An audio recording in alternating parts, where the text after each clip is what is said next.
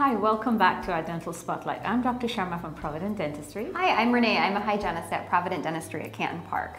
Today we're going to talk about caring for baby teeth. Who doesn't like a baby smile, especially when they start getting teeth in their mouth? They're so cute, aren't they? they are. Babies' teeth are usually present in the jaw uh, during birth. Uh, they start to erupt uh, by the time of six months to a year. Mm -hmm. Um, most children will have all 20 of their primary teeth, which is another name for baby teeth, by the time they turn three. Usually the first teeth to appear are the lower front two teeth or the upper front two teeth, and it's just so cute when that happens. Yeah.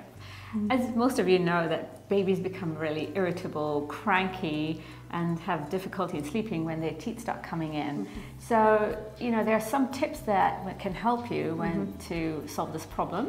Uh, make sure you can massage the gums. Mm -hmm. uh, make sure your fingers are clean though. So you can massage their gums with your finger. You can use a cold, wet gauze. Or sometimes they have these teething rings that you can use for babies.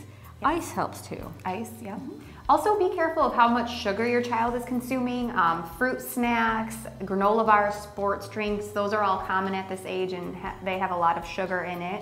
Also with babies, never send them to bed with a bottle with anything other than water. If you do this regularly, it can cause significant problems with uh, tooth decay. Even though babies' teeth will not be in their mouths for a very long time, it's very important to keep them clean, cavity-free, and well cared for.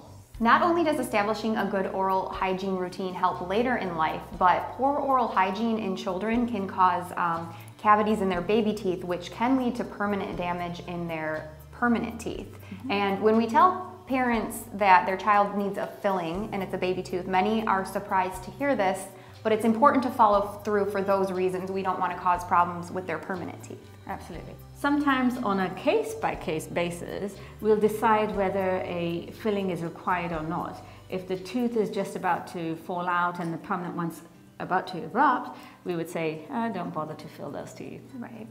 So in summary, caring for baby teeth is similar to caring for adult teeth. You want to minimize sugar, make sure you're brushing twice a day for two minutes with a fluoridated toothpaste, flossing daily, and seeing your dentist twice a year for checkups. If you have any questions, please don't hesitate to call our office. Thank you.